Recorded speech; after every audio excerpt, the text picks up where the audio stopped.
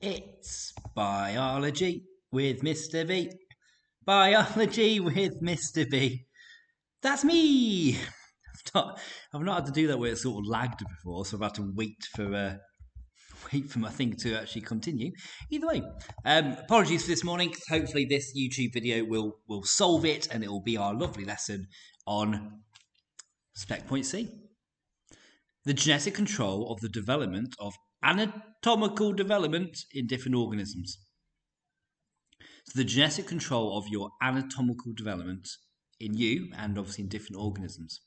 My keywords are HOX and homeobox. We are going to describe the role of these homeobox genes, these genes involved in anatomical development, and also the role of HOX genes, which are a type of homeobox gene but only found in animals. So here goes. So apologies to those of you that were here this morning and missed, but um, I may as well start from scratch. Looking at those four embryos, it's very difficult to see which ones are human beings. And the reason because of that is because the genes that control your anatomical development are very, very similar across different organisms. So, fish, reptile, bird, and human, we all at this stage, even though there's been a lot of differentiation, we've got you know where the head is and where the sort of the arms and legs would come out of, and, and where the tail and gills as well. So yes, we've got parts that in like humans that we don't end up using. That's where apoptosis comes in and removes those parts we don't need. But generally, the body plan, the anatomical development at this stage is very, very, very similar, nearly identical. The reason because of this is if this were to go wrong, if you had a mutation in these genes, genes that control where your head goes, you're very unlikely to survive. So, a simple point mutation which affects these genes usually ends in the organism, the embryo, not surviving. And therefore, they don't survive, don't get to reproduce, don't pass down those mutations to their offspring. We say that these genes are highly conserved. That's a link to Module 4 and classification. You might remember learning about cytochrome C and how its sort of mean biochemical nature is identical in virtually every organism. And you can compare it between different organisms as a way to see how, uh, basically, when the last time we shared a common ancestor was. Still, I'll get to that bit a bit more later. So, how is your body plan decided? Because clearly, you know, if we look at early stage from fish, the amphibian salamander, reptile tortoise, bird chick, and four different uh, mammal based embryos, you wouldn't know which is which. There's no way on earth you'd know which is which looking at them if it didn't say which one it was. But clearly, as we start to differentiate and more mitosis and apoptosis happens, then we can start to kind of say, oh, yeah, they're going to be the fish. Yep, they're definitely the, the birdie type ones. Um, oh, yeah, they're just weird looking, so maybe that's a human. Something along those lines. So, what are the genes that do it? The big family of genes that control your anatomical development are called the homeotic genes.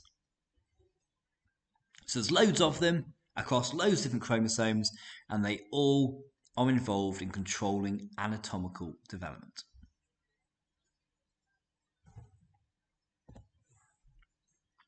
Several of those genes contain what we call homeobox sequences. Sometimes they are known as homeobox genes, but uh, don't call them genes. They're a sequence within a gene. They're part of a gene, not a whole gene by themselves. So let's stick with the term homeobox sequence. Every homeobox sequence, so it's a part of one of these homeotic genes, is about 180, not about, it is 180 bases. So codes for a chain of 60 amino acids. The chain of amino acids also has a key term called the homeo domain sequence. So I've kind of just drawn it here. So this is my 180 base. I know I've not drawn 180, but that would have been ridiculous. This is my 180 bases, which is called a homeobox sequence. And you'll find that within a homeotic gene. So the homeotic gene will probably have thousands of bases, coding for hundreds of amino acids, but within it are just 180 bases, the homeobox sequence, which code for a tiny part of the protein, 60 amino acids long, which is known as the homeodomain sequence. So I've just zoomed in here. Oh, gone too far. So imagine this middle line here is the entire homeo homeotic gene. Within it, and I've done it in red, is the homeobox sequence, 180 bases. And that codes for 60 amino acids called a homeodomain sequence. Now, you may have heard me explain. The science of this idea, homeotic genes, and what I'm going to get into later, Hox genes, is very poorly understood, not just by students, but by teachers and by the exam board. And therefore, you don't really get many questions about it that really delve into deep knowledge. But they certainly can ask you questions about the relationship between homeotic genes, which is the whole thing, the homeobox sequence, which is 180 base pairs within that gene, and the homeodomain sequence, which is the 60 amino acids coded for by the homeobox sequence. So there's a few key terms in there that I know. I'm hoping that diagram that you can see kind of just demonstrates it a little bit more clearly than the textbook, which is absolutely pants. But obviously, I can review that when, when I see you next time face to face. Feel free to pause me and do notes, whatever you want. I'm just going to keep going. The homeodomain sequence. So this is the 60 amino acids, the part of the protein. So this sequence of amino acids can fold into a particular shape. And obviously that shape will be dependent on the rest of the protein and all the different bonds that have uh, formed to make the tertiary structure. Key idea is it will have a specific shape, and that shape can bind to DNA, can bind to promoter regions, enhancer regions of the DNA, which regulate the transcription of adjacent genes, i.e., the homeodomain sequence. That part of the protein is binding and therefore acting as a transcription factor. It does have a very specific shape, the homeodomain sequence, so six amino acids. Its shape is what we call a HTH. Two alpha helices, so think of your secondary protein structure, two alpha helices, connected by a little, just a little turn. So helix, turn, helix, HTH. And it will be specific in shape to part of the DNA called an enhancer region. So think of it like a promoter region. And it will be very specific to the sequence of bases thymine, adenine, adenine, thymine. So the transcription factor, this homeodomain sequence, binds to a TAAT complex, thymine, adenine, adenine, thymine, on the enhancer region Think of it like a promoter region, a region that initiates transcription of a gene to be transcribed. So I'm just going to recap everything I've got so far. The entire family of genes that control your body plan, your anatomical development, are the homeotic genes. Within some homeotic genes, there are 180 base pair pairs called a homeobox sequence. 180 bases will code for 60 amino acids in the protein, and those 60 amino acids, the bit in red, is known as the homeodomain se- sequence. It will have a specific shape, HTH, alpha helix turn helix, which will be able to bind to an enhancer region of the DNA, a region that initiates transcription. And by doing so, it is acting as a transcription factor, switching on genes involved in anatomical development. Now, The homeobox sequence of a fruit, fruit fly, those 180 base pairs, also exist in mice. And not just do they both exist, the base sequences of those that 180 base sequence was virtually identical between a fly and a mouse. Completely different types of animals. One's a vertebrate, one isn't. They were as far apart, classification based, phylogeny based, as animals can be. Yet the genes were virtually identical. So, yes, we say that these homeobox sequences, the 180 base pairs that code for the homeodomain sequence, 60 amino acids acting as a transcription factor, we say they are very highly conserved. They must be crucial for the regulation of organisms' anatomical development and differentiation. If there were a mutation, it will lead to significant abnormalities and usually death. Hence why mutations tend not to be passed down to offspring, because if you have a mutation in your homeobox genes, you tend not to be alive. Now, the second key word was Hox genes.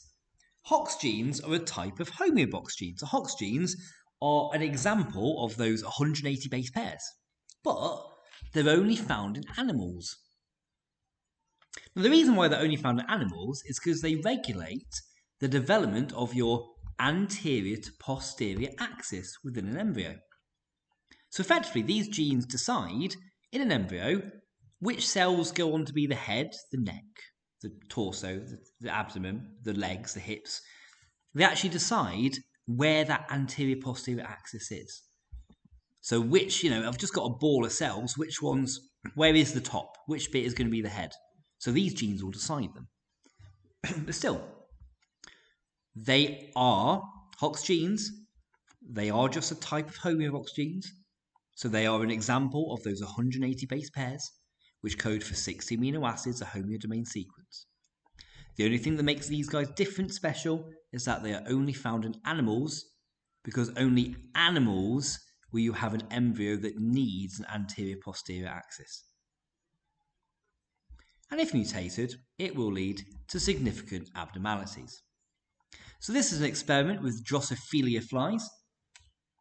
What they've done is they've very purposefully mutated the Hox gene and they've changed it so that they've just swapped these genes around so they get switched on at different times and it meant that legs grew out where their antennas should be instead of antennae.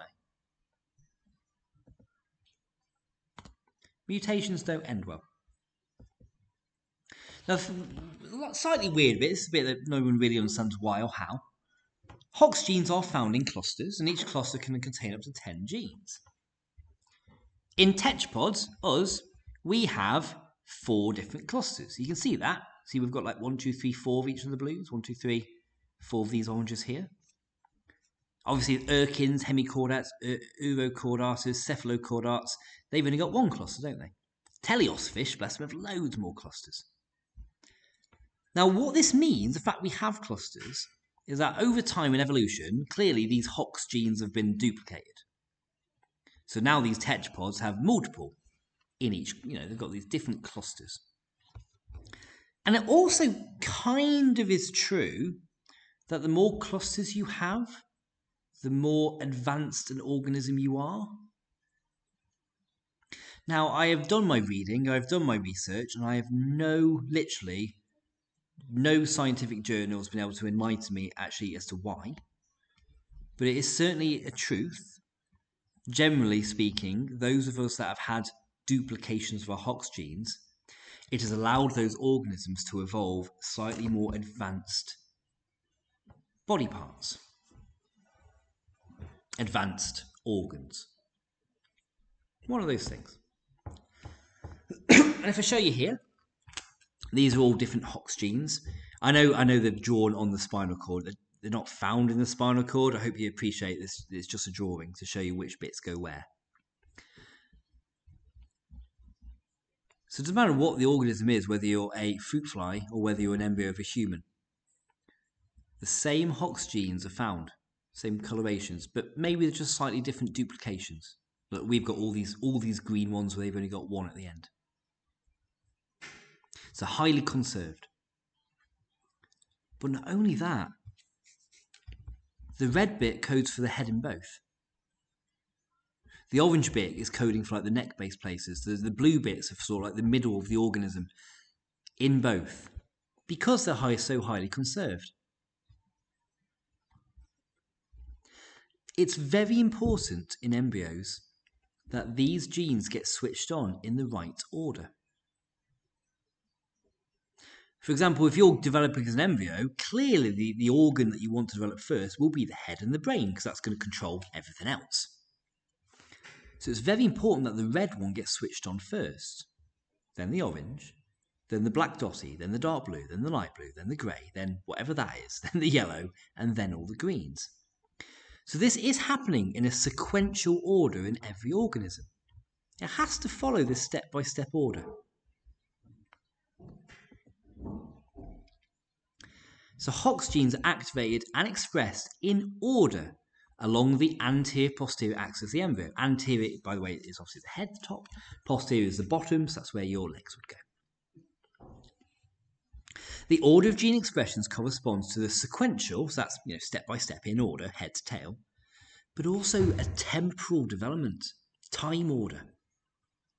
The fact it does it in time order and space order, sequential and temporal, is a phenomenon, a key word called collinearity. Collinearity.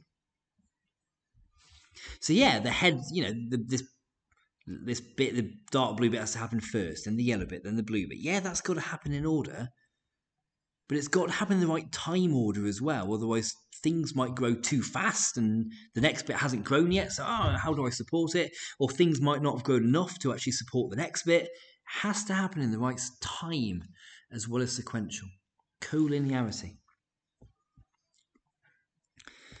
So here's another example of a study with a fruit fly when they introduce a mutation. Look, it's got another pair of wings growing instead of its pair of legs. Not going to be particularly helpful. That one, oh, where's its eye? Where's the eye gone? Like, have they just mutated it so the eye didn't develop, or have has they have did they put the eye gene just a bit further on? So is there an eye sticking out of their bum here? Who knows? So this is my key information because I'm, I'm, I'm at the end now. The homeobox sequence is 180 base pairs within homeotic genes. It is very highly conserved and it codes for the homeodomain sequences, homeodomain proteins. A HOX gene is a homeobox sequence, but only found in animals. It's involved in the anterior to posterior axis. The homeodomain proteins, or we call them homeodomain sequences, they are 60 amino acids within a protein that act as transcription factors to activate or repress genes involved in mitosis, apoptosis, the cell cycle. In other words, activate genes involved in controlling anatomical development. So, in terms of homeo, homeo, homeobox sequences, homeodomain sequences, I'm well aware that that is proper nasty, and obviously we'll, I'll spend a bit of time talking about it, and reviewing it next time I see you. Final question though, because again, in terms of questions that have ever come up in the past, I've seen a one marker for where are Hox genes found. The animal answer is animals only. But I've seen this as well. Why fruit flies? Think how easy it is to keep a fruit fly. Like literally to feed them, you just like start of the week, just put a bit of sugar solution down in a petri dish at the bottom of their of their tank where they're living. That's it. Because the life cycle is so so short, you can get you know if you if you kill a batch of adults, you can just very quickly have new adults made. And because they're so small, you can fit thousands into a teeny tiny space. Won't that be useful? So anyway, that was Homeo box sequences that was controlling of the anatomical development. Thank you very much for watching. I'm sorry about the webinar this morning. Peace out. Bye bye.